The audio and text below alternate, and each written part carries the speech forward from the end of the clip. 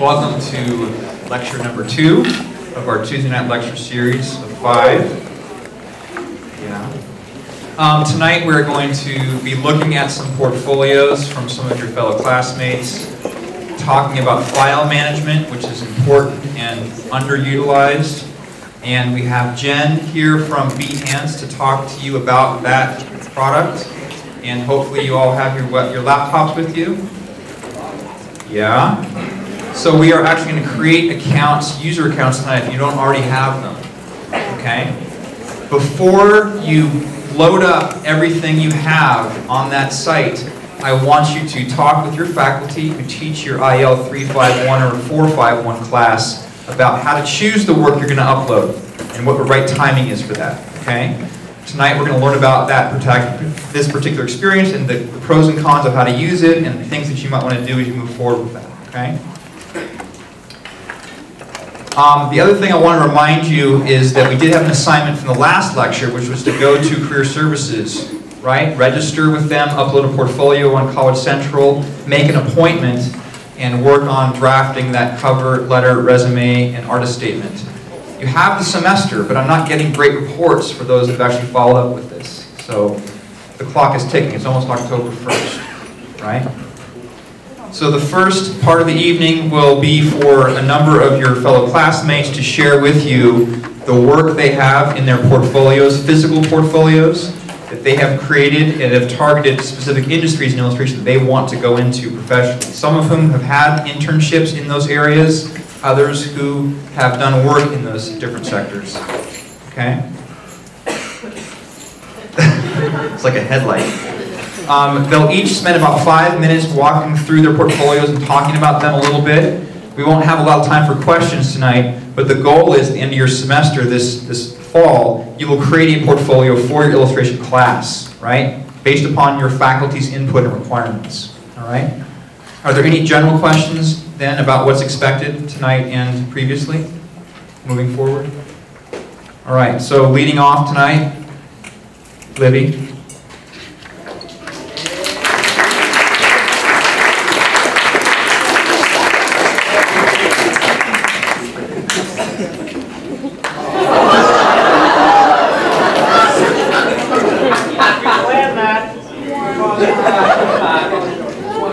fire.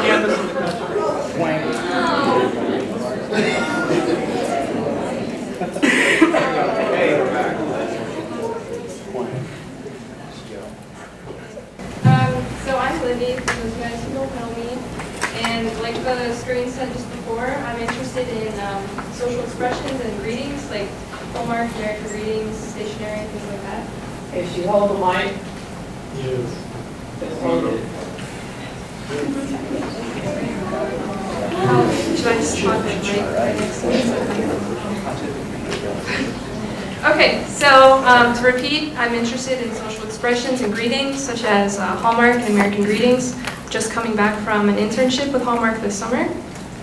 Um, try to flip these pages without knocking anything over. Uh, I tried to focus uh, most of my work to combine illustration and hand lettering, since that's something that I'm extremely interested in. Uh, so these are some book covers that I had done in my computer illustration course. Flip through many pages here. Um, I'm just showing a highlight, so if anyone is interested in seeing more, um, why don't you can visit my website, Google me. Okay, um, so at the top of all my pages, I have this uh, logo type icon thing, which is also on my resume and my cover letters and everything. Um, it's kind of like my little identity stamp. And I just created these pages by making a template in InDesign. And I know a lot of people are scared of InDesign for some reason, but templates are there to help you, so use them. Um, it's really easy to just place my Photoshop files and Illustrator files right into that document. Everything is um, the same across my whole book as far as layout. Since I knew that I was interested in um, creating cards and possibly ending up at Hallmark, I went ahead and targeted a lot of my open assignments in my illustration courses towards that. And in my book then, I included um, samples of some of this product. So I have actual cards that um, can be pulled out and you can see, you know, functionality of them and how I was thinking as I was designing. Uh, which is really nice because it's one thing to have it designed, but it's another thing to have it as a tangible item that someone can mess around with. Again, you can see that I'm uh, combining hand lettering into almost all of my projects. Uh, more samples, cards, and lettering. Um, I really knew what I wanted to do, so it wasn't hard to focus my book. Um, think about using uh, different uh, capabilities and technologies that are available to, here, to you here at Ringling. I made this card um, using the laser cutter, which was a really fun and easy process actually. Um, so as it folds, it's the concept of it was fun. It's a, a card with a cold symbol on it of a snowflake, but it's created from um, warm symbols, scarves, coffee cups, and winter hats. Um, again, using the laser cutter, I was able to create this, um, this piece. It's about 11 by 17. And then also these uh, snowflake assets that could be, you know, any sort of product made by, oh, that one broke. made by, made by Hallmark. Um, I'm just gonna, that's upsetting, that broke. That's okay. Um, I also decided to include in my book a separate section just for sketches. It's usually encouraged that you submit a sketchbook depending on which recruiter you're applying to. And so um, since I draw in multiple sketchbooks, I just compiled what I consider my best or more applicable sketches to show.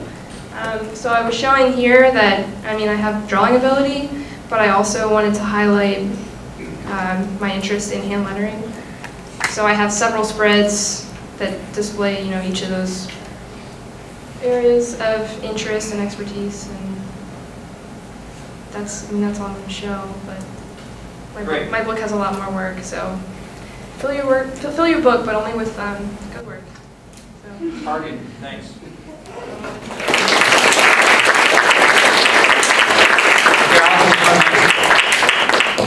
Thanks, Libby. Concept design for entertainment.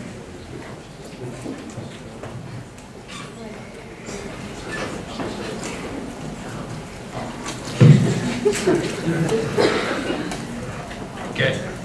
Hey, I'm Gal. Uh, so I'm focusing on illustration and concept design for entertainment, which is games, films, VFX companies. Um, most of my work is um, wood paintings uh, that include uh, environment design, uh, end curve design, and uh, keyframe illustration. Um, the way the portfolio is built is basically um, some of the strongest pieces first. Um, and I decided that by basically what I know people react to, um, whether like my friends here or on Facebook or wherever I put my work up.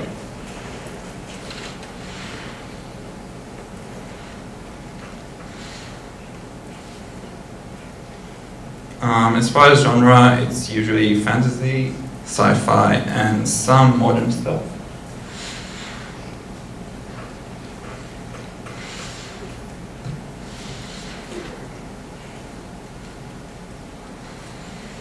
I include uh, some work in progress to show my process and other ideas um, on the way to the final piece.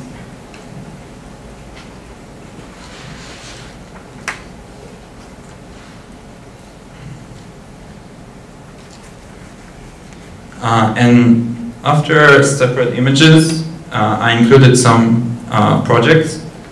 So this is one I did in my independent study, which I took a, a book and adapted it into film. So there's some of the chosen um, environments, characters, sketches. And you can see that um, the portfolio design is spread, so you need to think about both pages when you open up a book.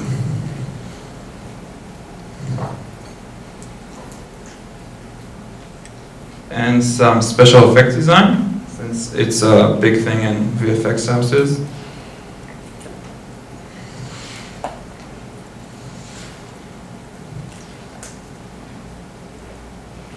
And keyframe illustrations.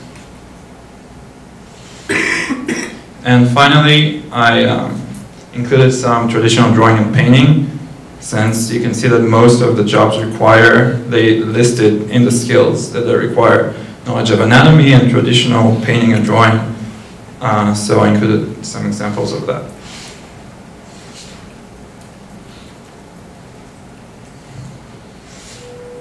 And Ryan Gosling. That's for sale too, by the way. And that's it.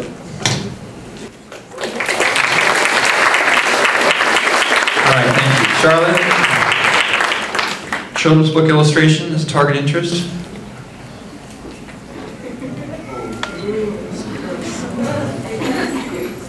Um, the first thing, I guess, is.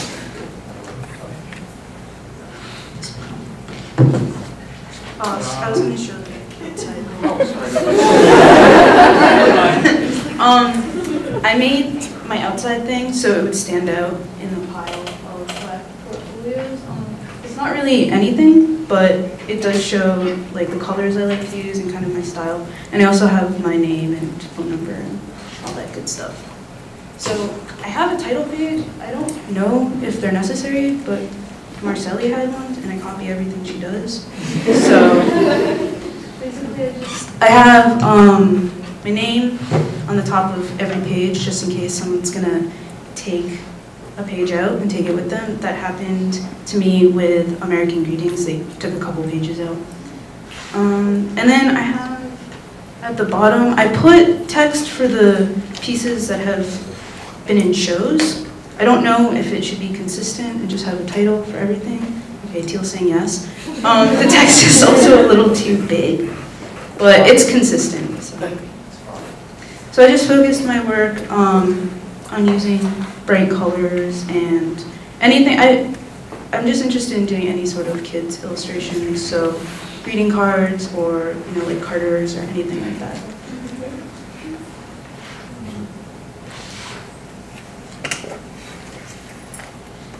Um, one of the things that Perez said was not to have too many pieces, that they're just like characters staring directly at you. You want to have characters that are interacting. This one was for um, a character study, so that's why it's like that, but something to keep in mind.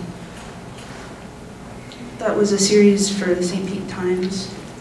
Um, birds. And then uh, I also have a sketchbook area. Since I don't really keep sketchbooks, I do mostly like this is what I would do instead of keep a sketchbook. I just go on the computer and do a little piece like this. So I thought instead of handing in a sketchbook, I would keep the pages in the back. And that's it. And get rid of all the pages at the end because it looks like you don't have enough work. Cut them out.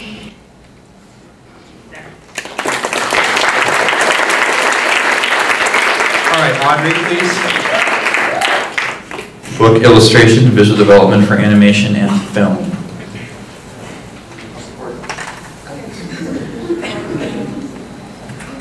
Hi, Audrey. Greetings. Um, uh, portfolio. Um, I, I got the, um, the actual portfolio case through Blick. They have really great options if you want to kind of alter it from the, the standard kind of thin plastic one. So, um, you want something that they're gonna hold on to. So yeah, I'm interested in like editorial and um, freelance stuff, but I'm also interested in um, concept art and character design. So eventually, my goal for this year is going to have like two separate portfolios, but this is like a general overview of all of the things that I do, and it um, transitions throughout. So, um, so yeah, cover page. Um, Um, so I start off with like some stronger, like more painterly illustrations. Um, I do a lot of stuff for poetry, like storybook style. I'm really into combining and experimenting with um, with traditional mediums and digital, and um, that's why I got really interested in Laika this year because I like that they do that with animation. The um, com- combination of the two. So you'll see that a lot in my um, in like my posters, and I use graphite a lot in my process. And I like when the um, when the roughness shows through. Um, these would be potential book covers. I would really like to do book covers and then and then like also be the person that does the um, the drawings throughout. So some personal pieces, or storybook stuff. And then as a transition, I like to, I wanted to include some of the things from my sketchbook that I worked a little bit on, just like my experiment, um, to transition into my character design stuff. So some happy little silverware and some purses, how jolly. um, lots of variations of things, cats, good, especially dancing cats. um, some characters. I like to do um, uh, character designs of um, ones that people already know, so they have like a sense of familiarity, and I can add my own flair to it, kind of like as a, an own, like a prompt to myself. So, excuse me.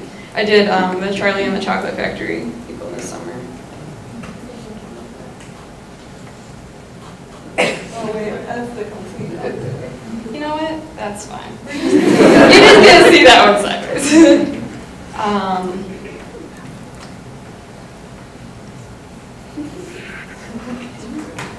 there you go.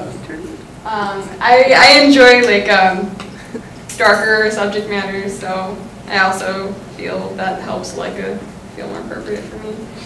Um, a murder mystery story, character studies.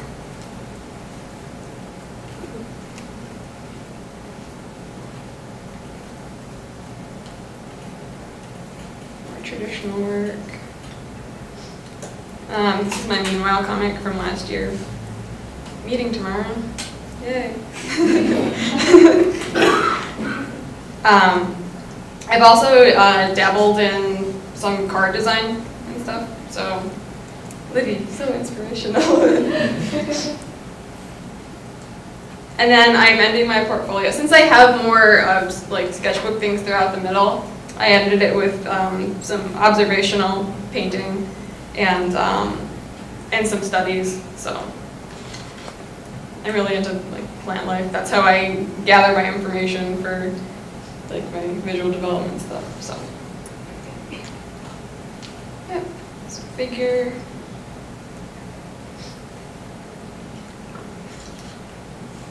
And then I just and then I just ended it with like a, a newer illustration piece. So. Thank you, Audrey.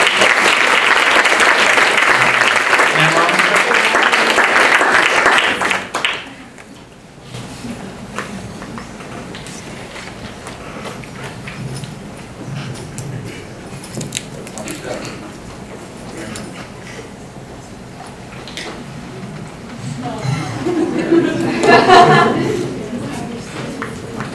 right. Um, so my portfolio is based for um, visual development for animation. Um, the way I go about doing my portfolio is um, doing character designs for each illustration I do. So.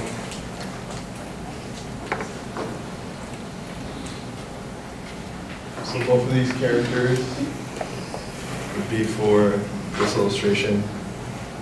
Um, and then I'll have a process to go with it.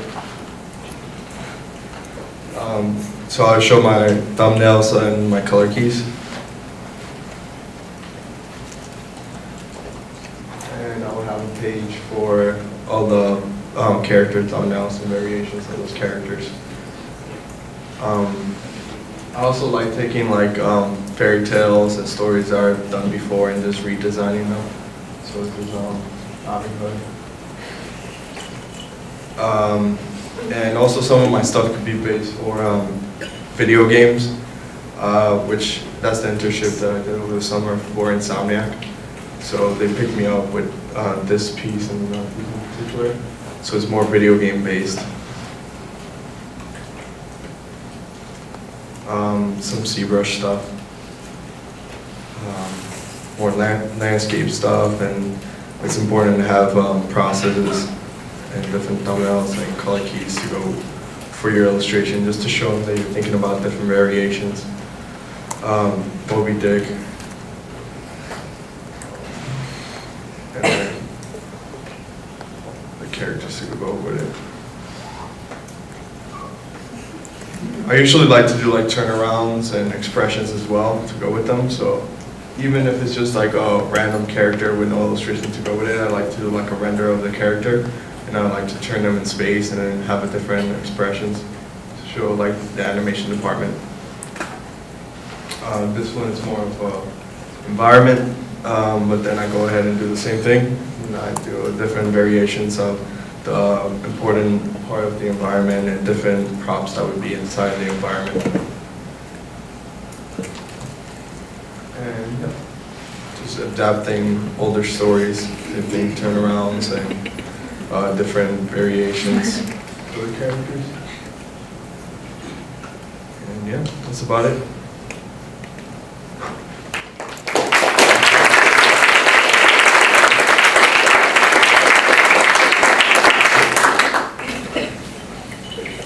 Yes, ma'am. Two more. I won't take very long.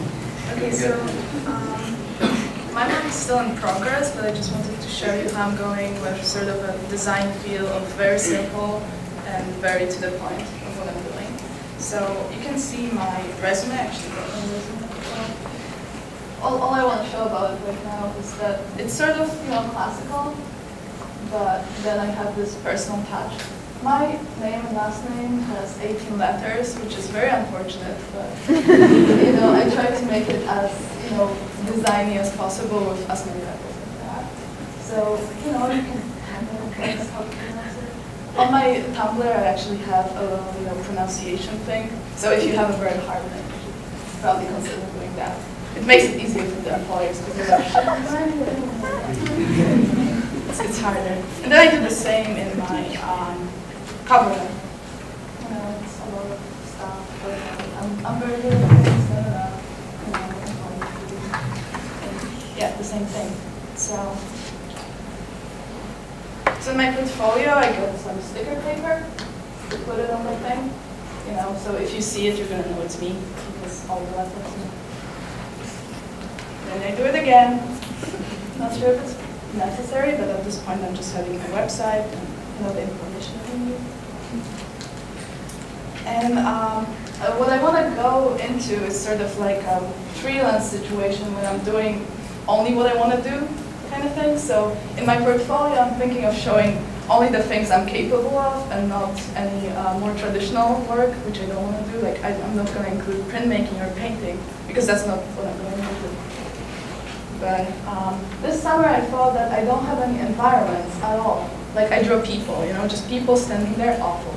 You know, so I thought, well, I should include more stuff like this, you know, people doing things and interacting with each other and you know, building. So then I also did some children's book stuff, it's actually in Polish. Apparently the hardest language in the world. Um, so then some cover for books, Pride and Prejudice, some process. And as you can see, what I'm going with is like this little line at the bottom. That's like a personal touch with like my information, my phone number, and so on.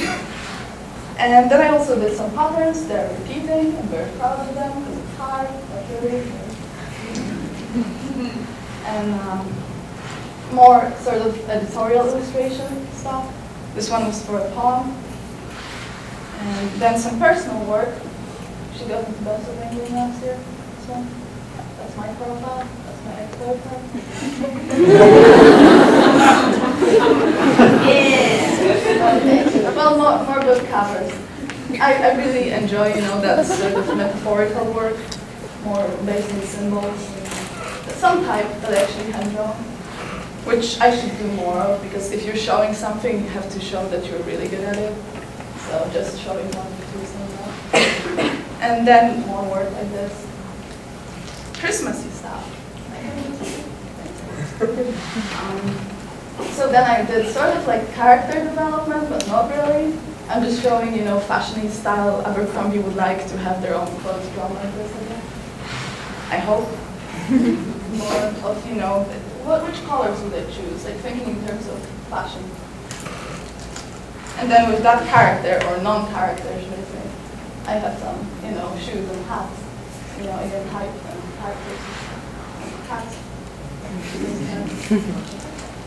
and that's my Meanwhile comic, which actually raised some controversy because it's too sexual.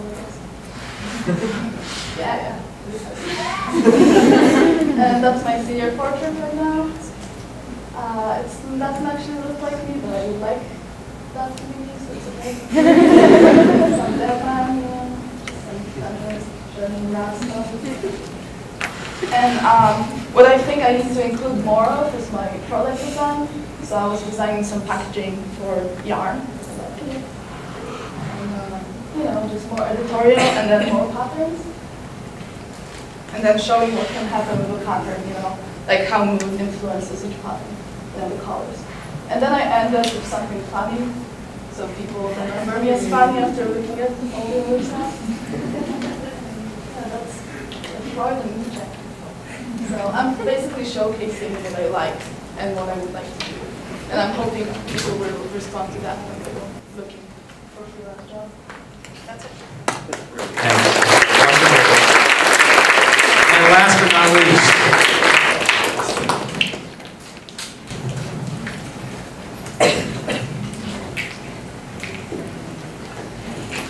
Hi, so um, my name is Hayo. Um, I'm interested in graphic design, and branding, and um, design.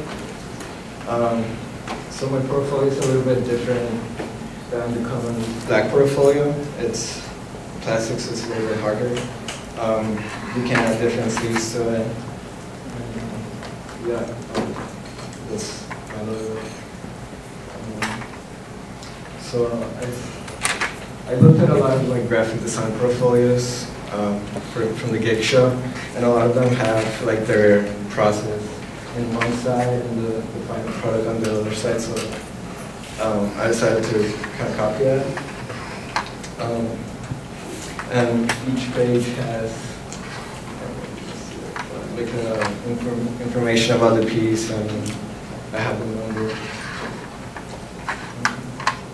This is a project that I did for my, um, called?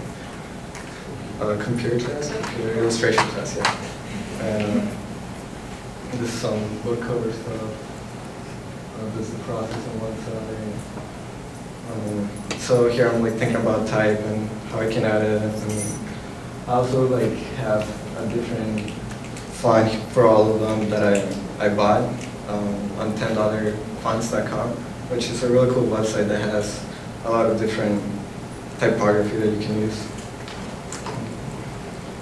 Uh, I'm also interested in branding, so I did this um, branding project for a Colombian company that's about seed paper. Um, this was uh, the memory project last year. Um, I also know a little bit about web design, so I tried to add like how I made my website and how it looked on an iPad. Um, uh, this is some media stuff. Um, this is uh, posters, I really like poster design also. So I have a variation of the color on one side. Um, some computer illustration stuff, and some illustrations. Um, this was for an internship I did um, two summers ago for the YMCA here in Sarasota where they did like this health and fitness week. Um, and also this is a, a package design that I did sophomore year for shoes. and I tried to like include the entire process, like I would have been all the way to like here. And this was, they always said to end your portfolio with a really good piece. I think this, this is one of my favorites. That's what something I did for my internship this this summer at a gallery where they wanted a, a graphic designer and somebody that was fluent in Spanish would like kind of help me. So that that's gonna go on next. So, yeah. All right. So one quick thing on the end there. Um, one thing you'll notice, all those portfolios, not only being exceptional examples, but all using typography in a very deliberate, conscious way. And I know that some of you in this class we have right now, the junior class, have questions about that class. Yeah, I know who you are. I want you to talk to me if you have an issue or question about the curriculum or how it's going, okay? I'm available to meet with you, and I'm opening that up as an opportunity to have a conversation, discuss the arc of the class, the goals we have for it, and why we feel it's of value, okay? We've thought about it a fair amount. We've been doing deliberate work to develop a course that we feel benefits you, and we treat, are treating you like serious designers. I'm not saying it's fun. I'm not here to entertain you. This isn't Disneyland. That means education isn't always a good time, but the, the goal is the value of it is going to serve you long term beyond the class. So please let me know if you want to get together and have a chat, okay? The next person I'm going to introduce you to is Steve Maybe, and he is going to talk about file management. No? Shaking his head. Steve.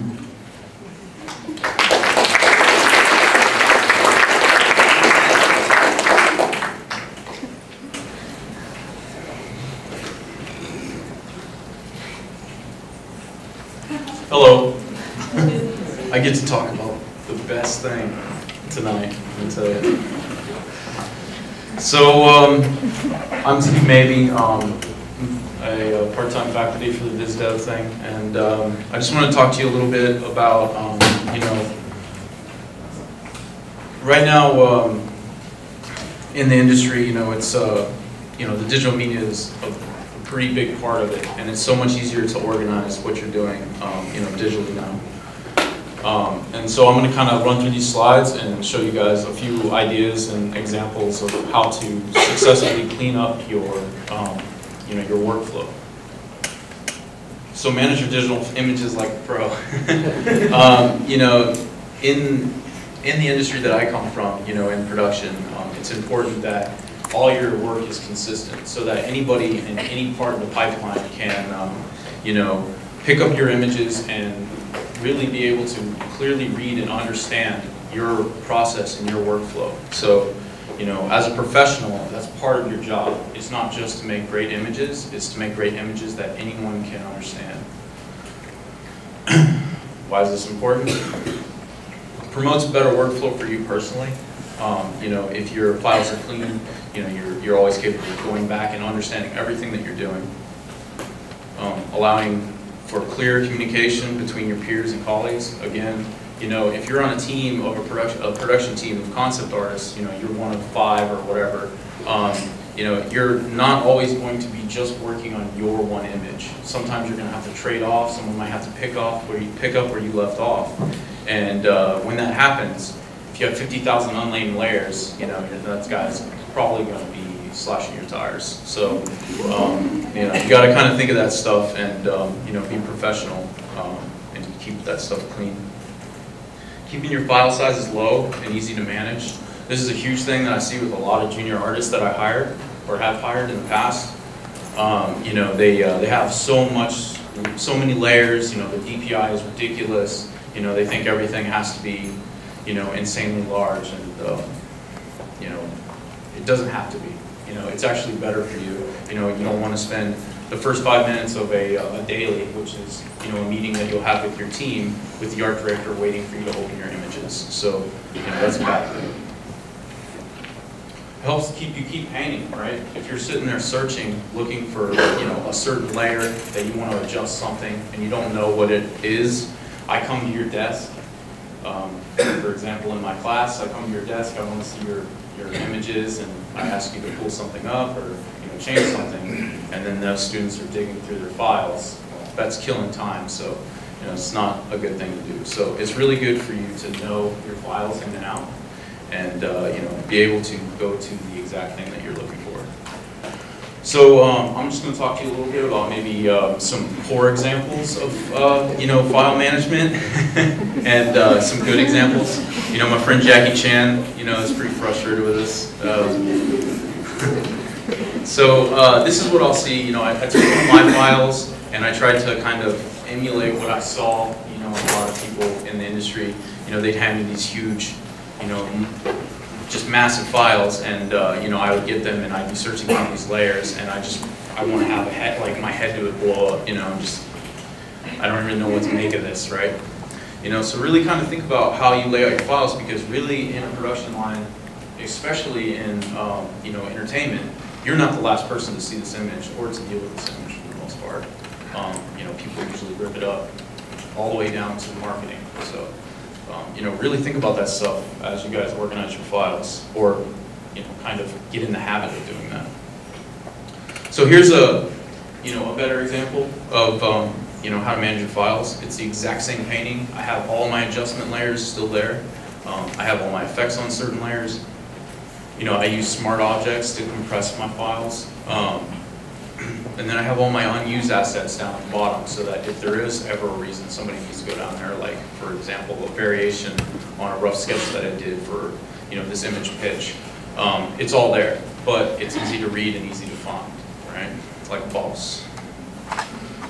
Okay, so that kind of leads us into you know um, you know, now that you've kept your files, you know, organized internally in whatever software you use, say Illustrator or Photoshop, whatever, whatever have you, you know, let's talk a little bit about creating yourself, you know, a, good library, right? Because I don't know about you guys, but it's 3 a.m., you're super tired, you've been working on this thing, you're saving images all over the place, and then you wake up in the next morning and you're like, who came into my house and destroyed everything? Because that's what happens to me sometimes.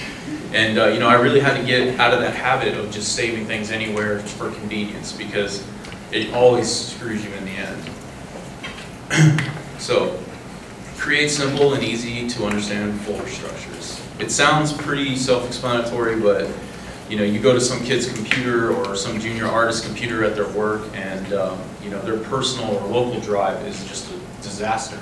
So they're not there for the day. You have to pick up something or whatever example you might have. Um, you know, you run into those situations in the industry. So, you know, keep your stuff very clear. You know, in class I talk about you know keep everything clean, consistent, and clear. You know, the three C's or whatever. So it's, uh, it's very important to just kind of blanket over everything that you do.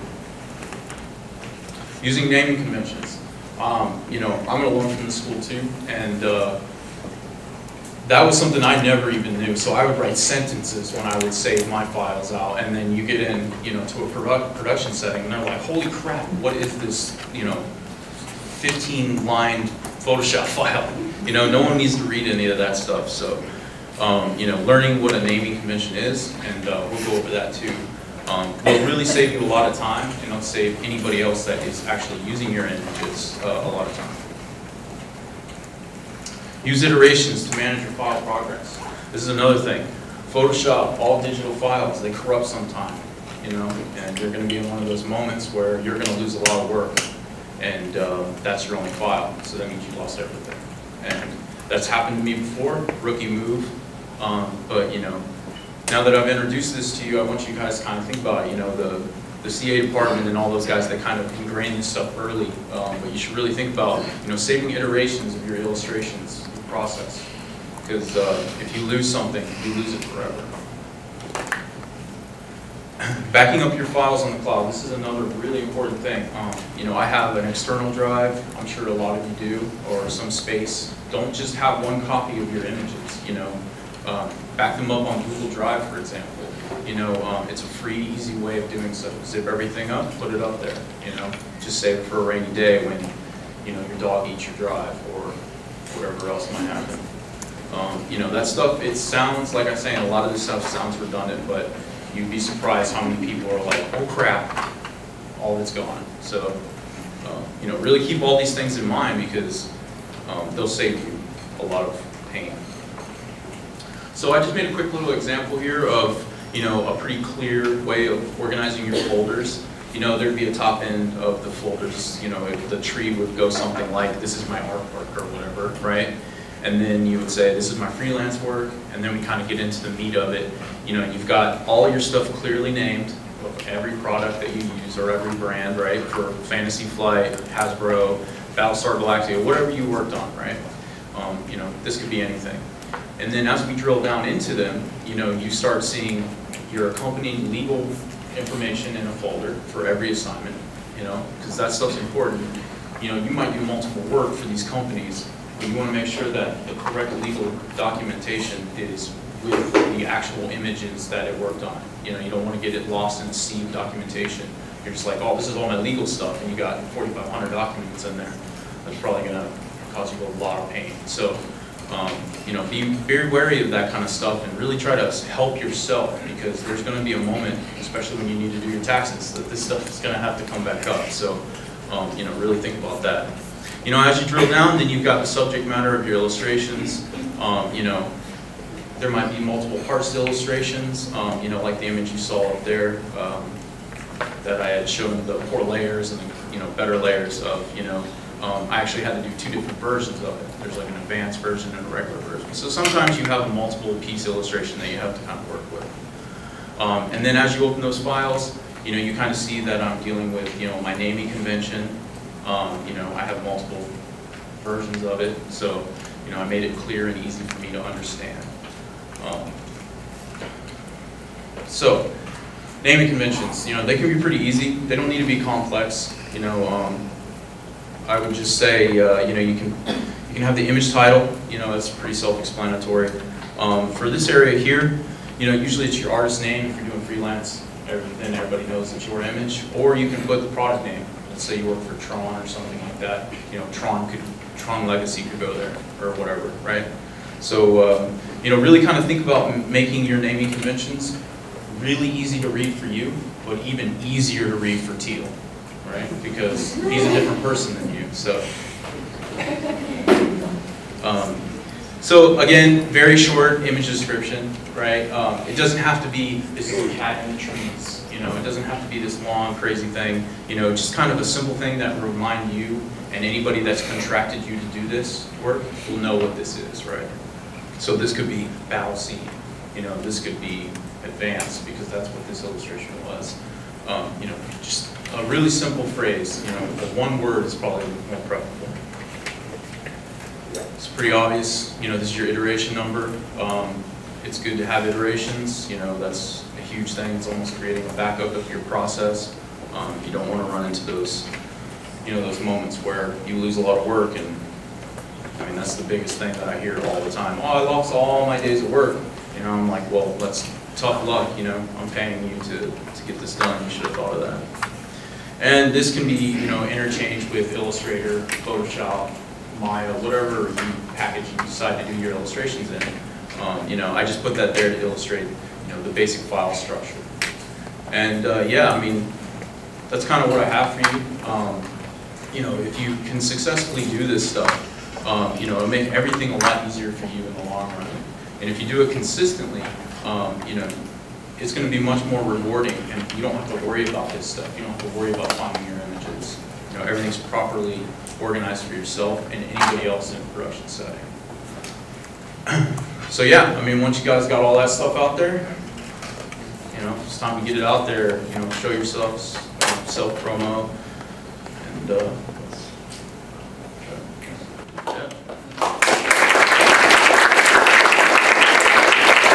All right, thank you. Excuse me. So the last presenter of the evening is Jen from Behance. Come on up, Jen. As I said, she's going to walk you through the product, talk to you about this, and you will be using it in your class. But before you start loading it up, be sure you talk with your faculty member about uh, the way you're going to manage your content. And do not leave when she's done. I have one more thing for you to do, because you've all gone to the website I created for you, right? Yeah, let's see it. How many of you have gone to the website? Okay.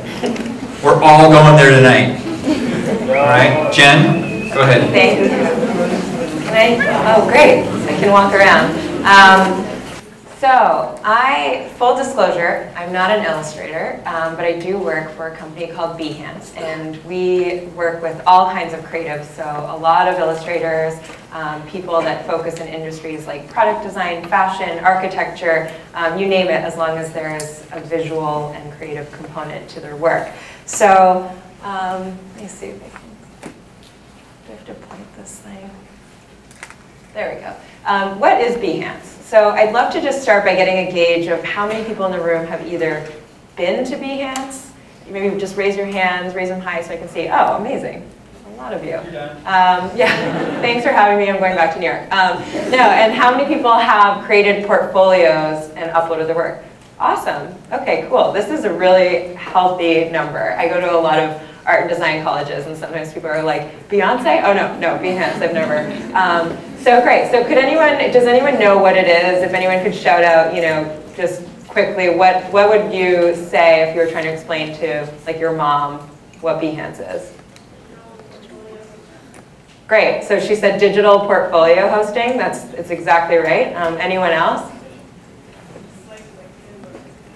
Perfect, like LinkedIn, but for creatives. Um, I love that definition because for people who maybe aren't so tech savvy, they do have a, somewhat of an understanding of LinkedIn. Um, but you know, for creative people, LinkedIn is really, really limiting. Um, so that's where Behance comes into play. And it's really a network in the same way that hiring managers and prospective employers can use to find work, um, but it's also a place that creative people can display their work and let the visual component and their, and their art speak for itself. So thank you, those were both really, you hit the nail on the head. Um, we're also, just you know, as a bit of a background before I get into the nitty gritty, we're also the leading platform for online creative work, and that's really why Ringling has partnered with us. Um, we were a really small company based out of this tiny loft in Soho um, until this year, and now we're actually part of Adobe. So we're working on a lot of things um, that involve integrating with the bigger, you know, Adobe company so that if you're working with Photoshop or InDesign or Illustrator, you can actually publish your files directly from those programs onto the site. So that's why we're, you know, we're sort of the biggest one and we're working with a lot of um, institutions in case you were, you were wondering where that partnership came from. Um, volume. Has anyone, I know we had a, a, number of hands go up for the main Behance network, but has anyone been to the Ringling site yet? Okay, great, awesome. So the URL for that is portfolios.ringlingcollege.me, for those of you who didn't raise your hands. Um, and essentially, this is our way of licensing out our technology, licensing out the, all of the um, things we've developed for Behance for schools. So this is a, a, a portfolio site that Ringling is going to be using um, not only in the classroom, but long after you graduate. So this is something that's being sent to hiring managers or recruiters who, who say, you know, I'm interested in hiring from Ringling, where can I see the work? And uh, one of the great things is that they can actually filter by a number of different components that we'll get into a little bit further, you know, like tags, project tags, things like that. But you can also sort if they want to um, enter it in a more broader scope, like by illustration and browse all the work there. So by including your work up there, it's a really great way to make sure you're um, going to be found and discovered and just have more uh, opportunity for exposure.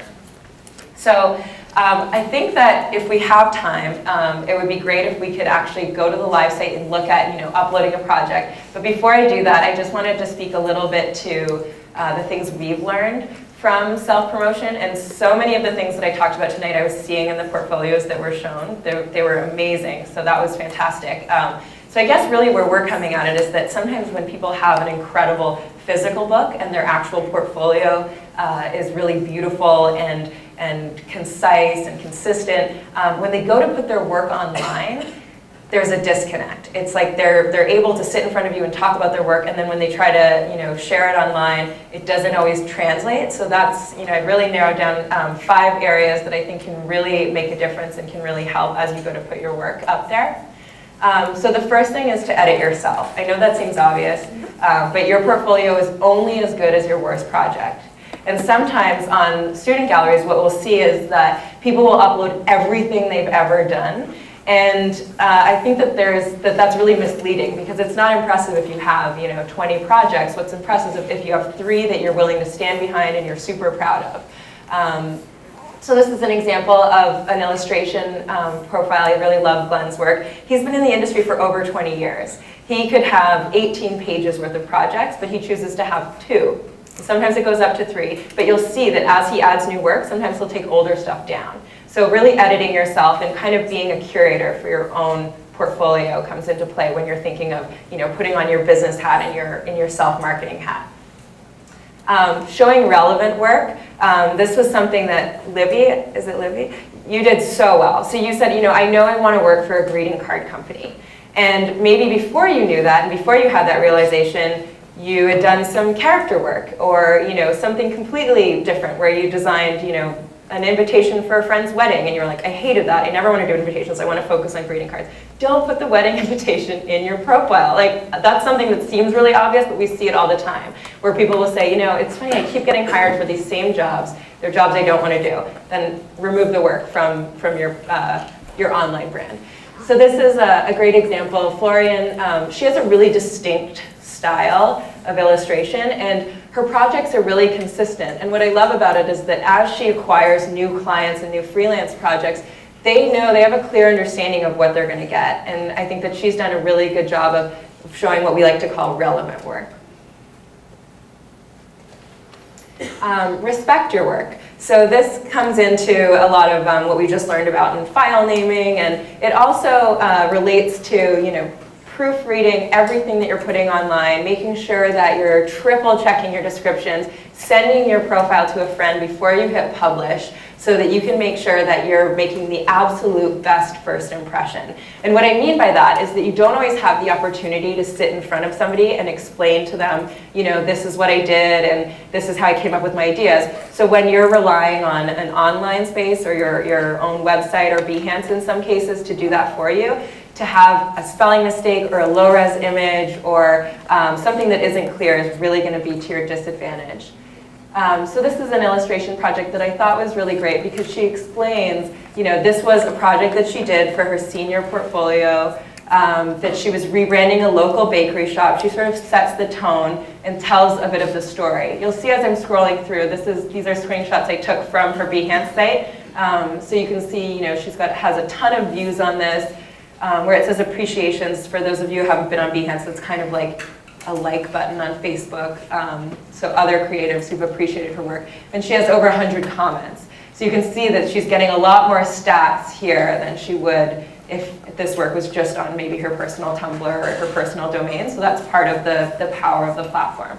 But anyway, back to the point of um, you know, really spending time on your description. Uh, I think she's done a great job in showing that she was doing a rebranding, she developed the logo, she's showing how it was used, and she's using, using beautiful imagery of those assets. So she's not just saying, you know, oh, and then it was put up on a website. She shows this really crisp, clean landing page, um, sorry, and she's showing also that it was turned into a sticker, and she has a beautiful image of that too.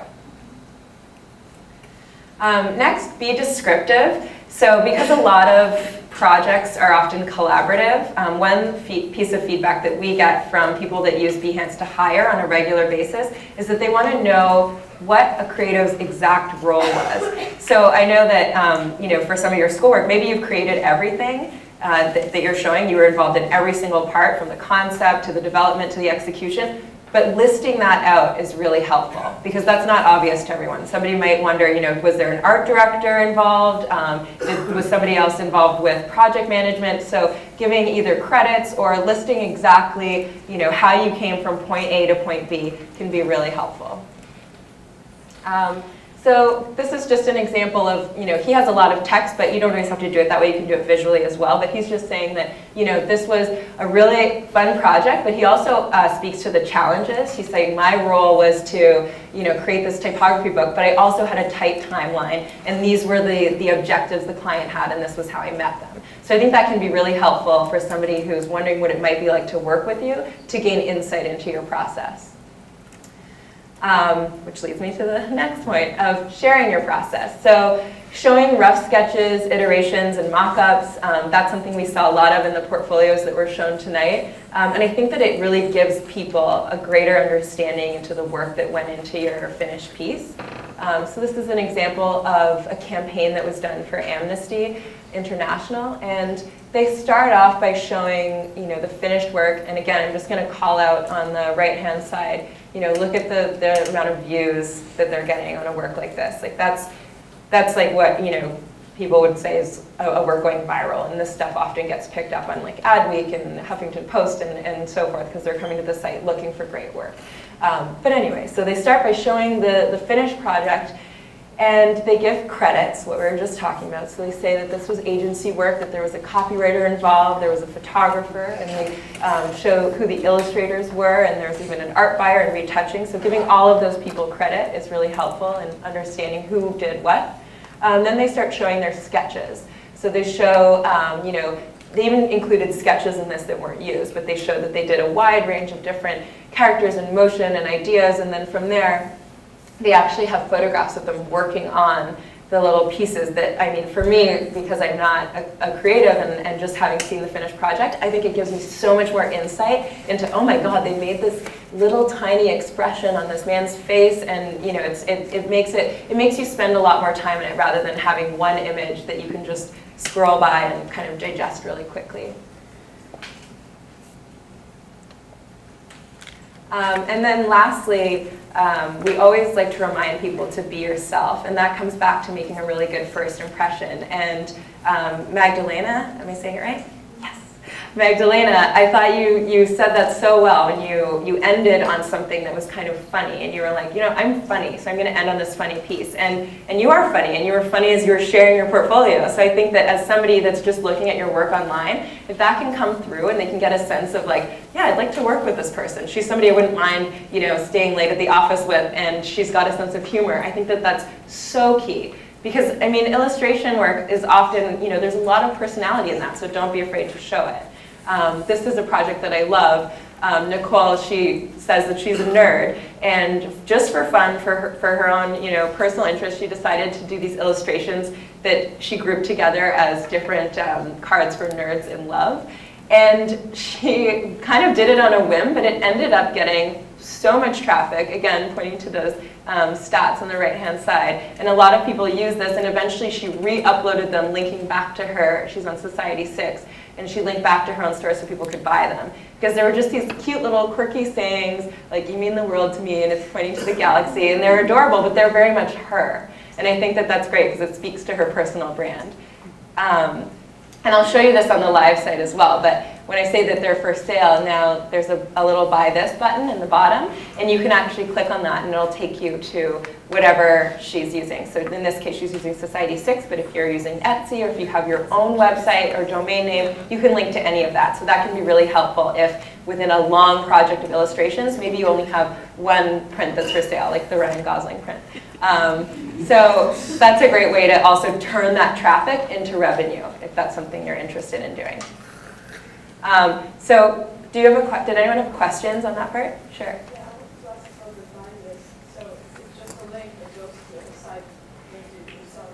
Yeah, exactly. So we, um, we didn't actually launch with that feature. For those of you who couldn't hear, her question was just about the buy this and how it works. Um, it's not something we, want, we launched with, but we realized that there are a lot of people that come to the site that aren't necessarily creatives. A lot of our traffic isn't from people who are just there to you know, upload work and build their own portfolios. In addition to people looking to hire um, and you know, prospective clients, we also have people that just love looking at beautiful things. And their next question was often, well, where can I buy it? So we introduced the, the feature to be able to mark things as for sale, and we even created a gallery that just shows work that's listed as for sale. And that's something you can do for free. Anything on Behance um, is free, by the way. But that's something that, you know, if, you, if you're selling it from your own site, you can do that and just have, say, you know, get in touch with me to buy. Or if you have something like an Etsy or a Shopify, a Society 6, or there's so many different stores. But any of those, you can sync with that too.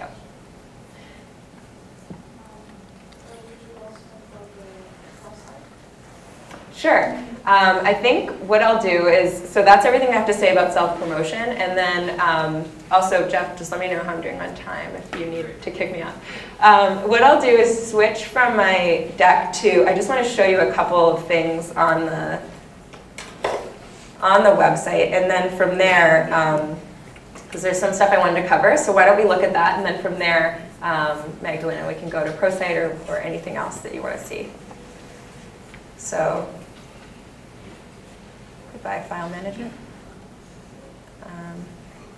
Okay, so a couple of things I just wanted to highlight. We already talked about the fact that Ringling has its own portfolio gallery, um, but one thing that I wanted to make sure is super, super clear is that when you're signing up for Ringling portfolios or for Behance, um, you can add work really easily to both, but if you don't want to, so let's say you have a class project that you only want to show in your Ringling pro profile, you can do that.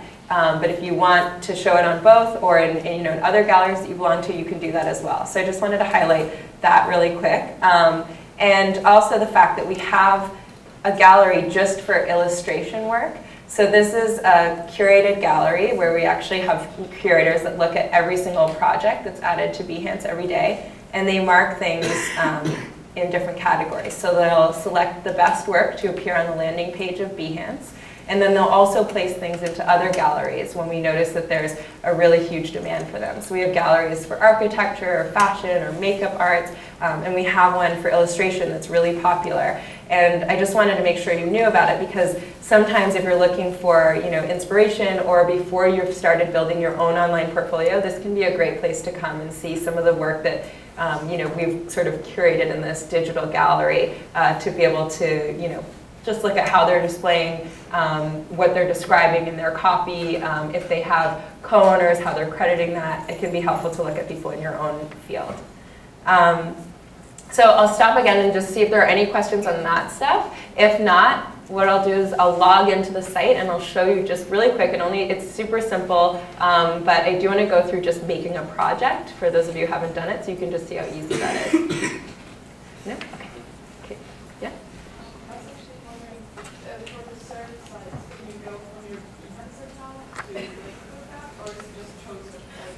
Yeah, that's a great question. So for any of the served sites, these galleries like illustration, all of the work is selected. So it's, it's the same thing as being featured in a physical gallery or a museum. Um, we have curators that specialize in different creative fields that look for certain things. We have somebody who's with a background of you know 20 years in illustration. He's looking at illustration work and some digital artwork.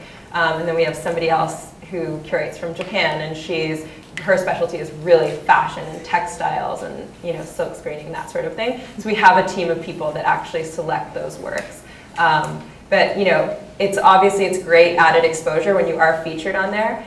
But the the way that you get featured is you know first have great work, but um, secondly it's it's the, all the points we talked about tonight. So for example, they never feature anybody if they only have one image. They only look for projects that have a bit more of a description, that tell a little bit more of a story. Um, of course, there are exceptions, but really that's whenever people ask, you know, how do I get featured, that's how. Um, so if anybody, if you have your laptop and you want to, you know, follow along, you're welcome to. If not, um, I'll just show you what it looks like really quick for me when I log in.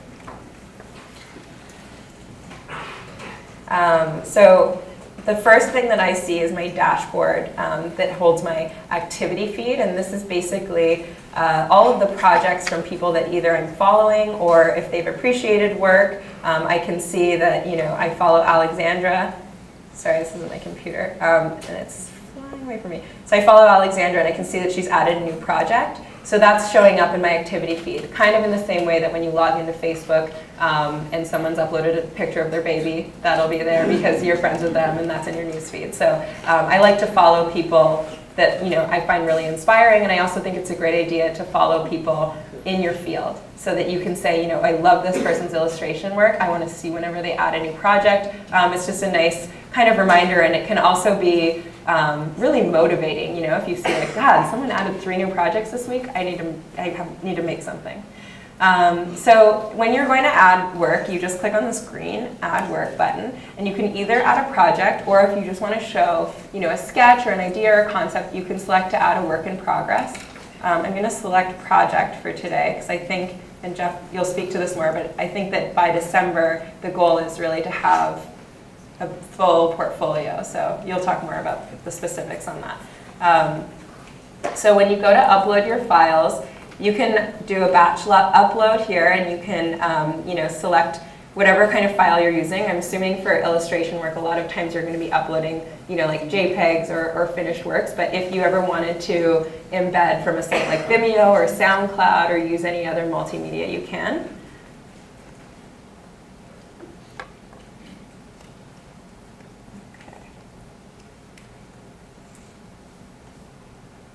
I just borrowed someone's illustrations for this project. Don't worry, I will delete it as soon as we're done. Um, so I did a batch upload, and I can see all of the images that I've just added here are in place.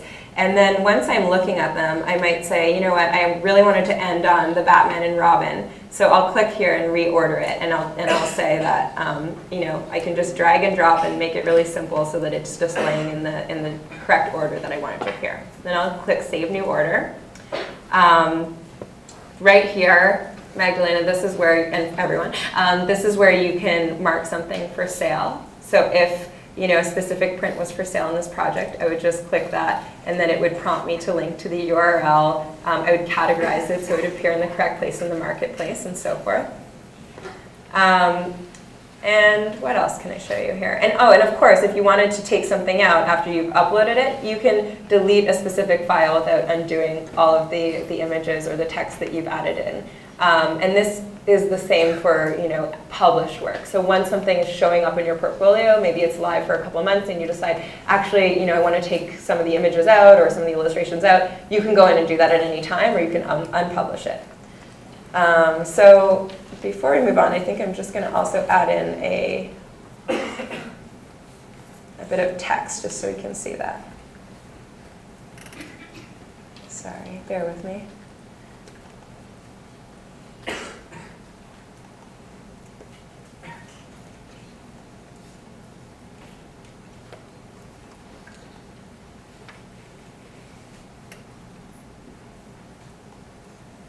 Okay, so I'm adding my text here, and this is where you can also, you know, edit things like the style of the font. You can link to websites um, that are outside of the network or to your own personal social sites. So this is a great way that some people use Behance to really aggregate traffic for their own website. So if you have, you know, like janedoe.com, um, something that you might want to consider putting at the end is like to see more or full work or high-res images and then link them back to your own site as an option. So I'm just showing you, you know, you can change that up here, you can do hyperlinks and so forth. I'm going to save that and continue. Um, next, in step two, you'll be prompted to select a cover image. Um, the one thing I'll say about this is that it's really important to select an image that's your thumbnail and kind of your teaser that is actually inside of your project. Um, a lot of times people will, you know, choose an image that's really beautiful and striking and, and, it makes people want to click on the work, but then they open it and it's something entirely different inside, so it can be a little jarring. So just a reminder to always select, you know, here I'm just going to select one of the pieces from inside and I can change the crop on that and decide how I want that to display. And that'll then be my cover. And then you'll title your project. Um, we see a lot of this, title, or untitled, or project one. Um, not going to help you get found. So when people are coming to the site and looking for amazing illustration work and they're typing in, you know, different search terms, you want to think about that. So if, it, if you want to include the client name, if it's commercial work, if it's a personal project, that's great too. But give it a title, give it something that's a little bit more compelling. So I'm just going to call this one Batman for now. Um, in the third step, your settings, you'll have a number of different fields to select. And all of this will help you, again, get found, help your work be classified into the right search categories. So the first is creative fields. Um, so for this one, if I wanted to select illustration, I would just scroll down and find that.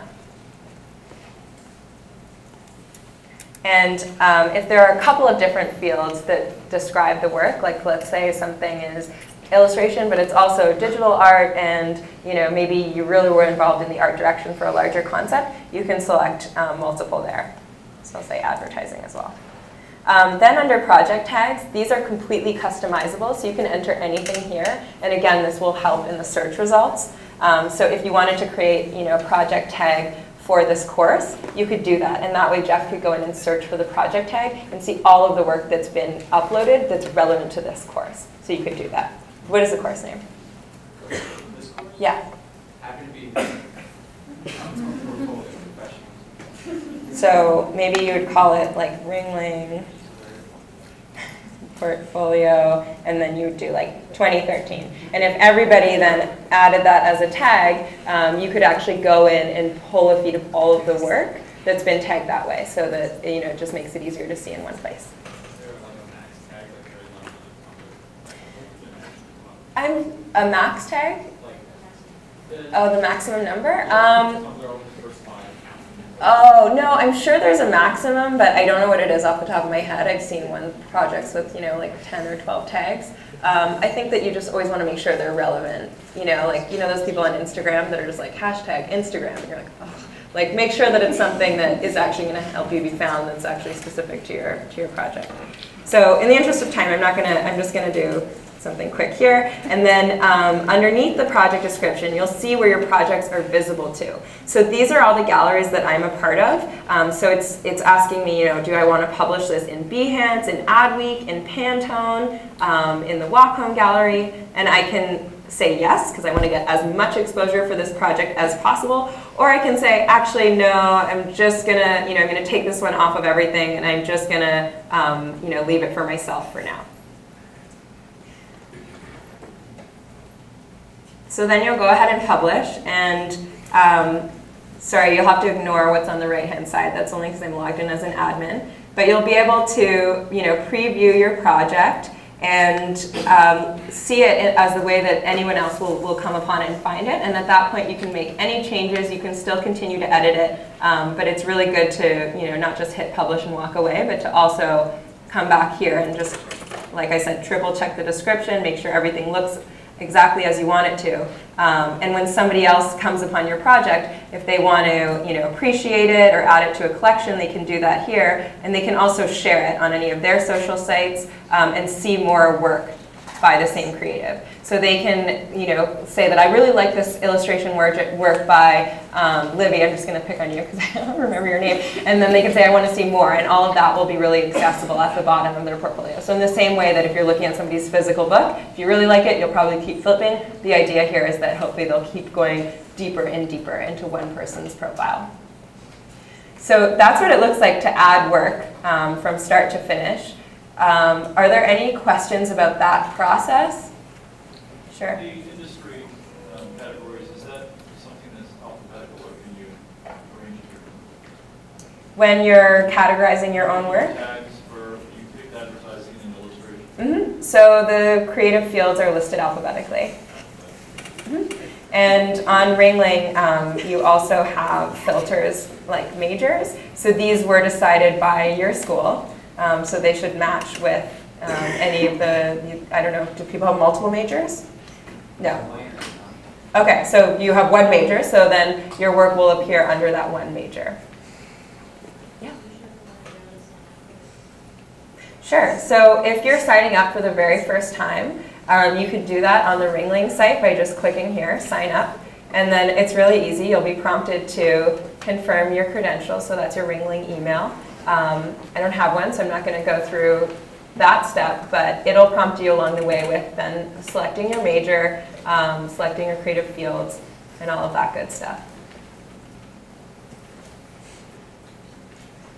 Um, other things that might be of interest that I just want to highlight really quickly. Um, I'm going to just find her portfolio. So Tegan is an illustrator that I really love. Um, and if you go to her portfolio page, she has a lot of works that are um, for sale as well. So I just wanted to find this one might have a project. Um, yeah, so as you're going through, you know, you can see that um, we really call out messaging the creative and getting in touch so that we're not acting as a middle person there. If somebody says, you know, I just, I love this work so much, I'm just ready to hire them or have them in for an interview, they can get in touch with you directly there. Um, they can also share your project on Pinterest or LinkedIn or anywhere else and it'll come up with a visual display. Um, and you can see, again, you know, just the kind of traffic that she's getting on something like this. I think her tags are also great. Um, she tags her work with children, storybook, animals, watercolor. Um, those are all things that people might actually enter in when they're searching to find the work. Um, and so this is a print here that you can buy individually. Um, she lists, you know, the price, the title of the print. It's called Her House in the Woods. And you can click on the Buy This button. And it'll take you to her Society 6 page where you can say, you know, this is the size and I want to add it to my cart and check out. So again, that's re it's really just using Behance as sort of an aggregator to direct them wherever you want them to go. Um, and then we have other galleries as well, like um, like one that we built for Pantone. Um, most people know Pantone, the company, yes. Um, so they really wanted a gallery of creative work that was all about color because they're, they're a color company. So we built them a gallery that's a really simple idea. It's basically just top work and they, they curate it themselves so they have people looking for you know, their favorite projects. And then you can go in and filter it and say, I just want to you know, find all of the top pink projects.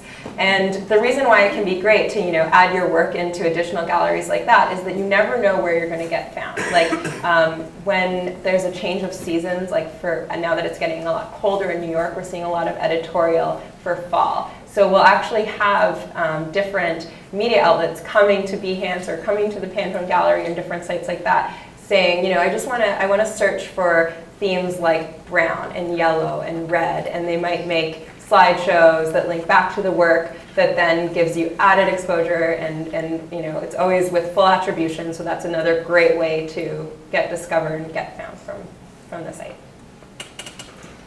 Um, just raise your hand if you have any questions, otherwise I'll just keep going and going. Um, one question. Sure. Um, a lot of times like on the science page, it's a lot of like campaigns and stuff to be done. Um, would you suggest like trying to keep when you post your work, like how to organize it? Like, are campaigns or process work better than doing just straight collections? Is it all over the place?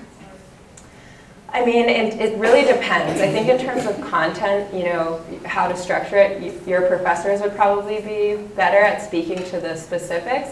I know for us, um, what's really helpful is, you know, because it is, it is really individual, but what's really helpful for the um, employers or even like the curators who are looking at the work on our site is if they, if the project um, clearly has a story. So for example, if somebody wants to upload multiple illustrations in one project, that's great, but um, it helps to say, you know, these are illustrations that I created in fall of 2012. They were all sort of based around this theme, and then you might have six different characters. And those characters don't relate to each other, but the description at the beginning ties them all together. Whereas someone else might say, you know, here are all of the hand-drawn logos I've done you know, ever. And then you could have like 30 pieces, but I think that having that story that, that, you know, creates a little bit of a narrative that ties them together. Whereas if somebody just has a project that's titled, you know, Project A1, and then you go through and you're like, well, this is character design, that looks like watercolor, this maybe is commercial work. That's when we often would never, you know, feature something like that on the front page of the site because it's a little bit confusing, it's hard to categorize. Um, it's also not clear what the person's role was and what they did on each piece. So I think that the one thing I'll say is, you know, from a, a self-promotional side is to just be really clear in presenting it. Um, you know, think of it like you would in your, in your printed portfolio. If, if you're going to have a description on the page or if you were there sitting across from somebody in an interview, what would you be saying to them? You know, if you're going to say, oh, this was something that I worked on for my final year and, and you know, this is what I was thinking about, put that in online because you're not going to have the ability to say that to them. But in terms of the actual, you know, content, I think that, you know, Jeff can speak a little bit more to that. Oh, one thing you wanted me to show was the resume. Okay. oh yeah, of course.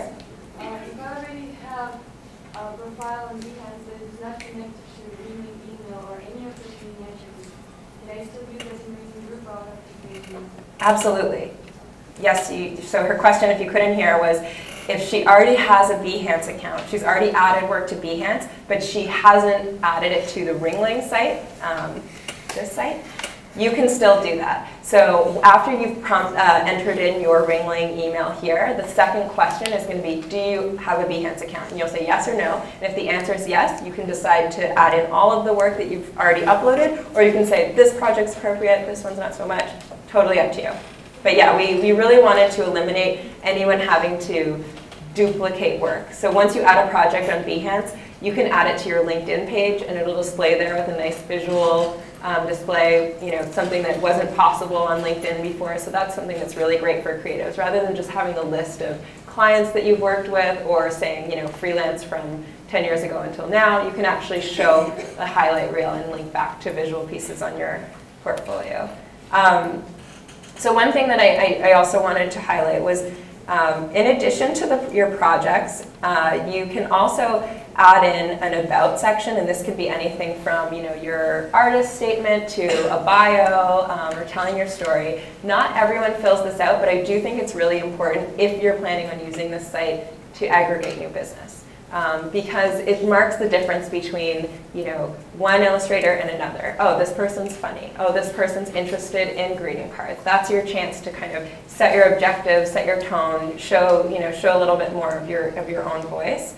Um, and then additionally, you have your work experience. So this works like a CV or a resume, and I'll click on view all so you can see. And it, it functions like, you know, um, like a lot of other sites out there, but one advantage is that if you fill this out, and I'm an employer and I'm looking at this, I can actually go in and download your CV um, in addition to bookmarking your profile. So one way that that can come in really handy is if you're ever going to be applying for a job, online and wanting to take advantage of this as your digital portfolio because a lot of times people will say, you know, don't mail us anything. We just want a link. We want to be able to look at 200 in a day if that's the case. Um, and I'll show you what that looks like as well. So if I came over to job list, um, and we have a lot of really great companies using this right now, by the way, like Nickelodeon or the Wall Street Journal or Google. And so the posts will range from freelance gigs to part-time things, internships, you name it, but the one caveat is that they all have to be creative. They, like we can't have anyone advertising for an administrative assistant. It's all things that are um, creative. So let me see if this one has what I'm talking about. Um, so after I've read through a description, let me just see if this is, no, it's going to take me away. Hold on. Um, after I've read through a job description though, and I apply through the website, let me just show you what it will do. Um, so it'll automatically populate with the information I've given the website, which is great because if you are applying for, let's say, you know, 10 jobs in one sitting, it, it can be a lot to have to re-enter it in, make sure you're entering everything correctly. So it has my first and last name, it has my email address, it knows what I'm looking for, if I've specified freelance or full-time or consulting. Um, it's also going to automatically link to my Behance portfolio. So I can say take you know the work from there, or you can add in your own website as well. Um, and then you can upload your resume, or you can say, just use my work experience. And that's what we were just looking at. So you don't actually have to you know, re-upload or reformat. That'll already be laid out in the way that you've specified. And then if you want to, you can add a cover note and send your application. So that really, um, you know, we really thought about that process from the creative's perspective, and it's something that, you know, we're working on a lot to, to make improvements to all the time, but it's something that we wanted to be really efficient and, and also really fair. Because the whole premise of our site is to try to connect the best talent with the best opportunities, and um, this way that everyone's kind of, you know, uh, they're they're all submitting their work in um, sort of a fair with fair constraint. Do I see a question over there? No, just leaning. um, any questions on that, on the resume, on selling the work, on anything else that we've looked at? No? Okay. If not, then I'm going to turn it back over to Jeff. Um, but I'll be here uh, for a while. so, oh, sure.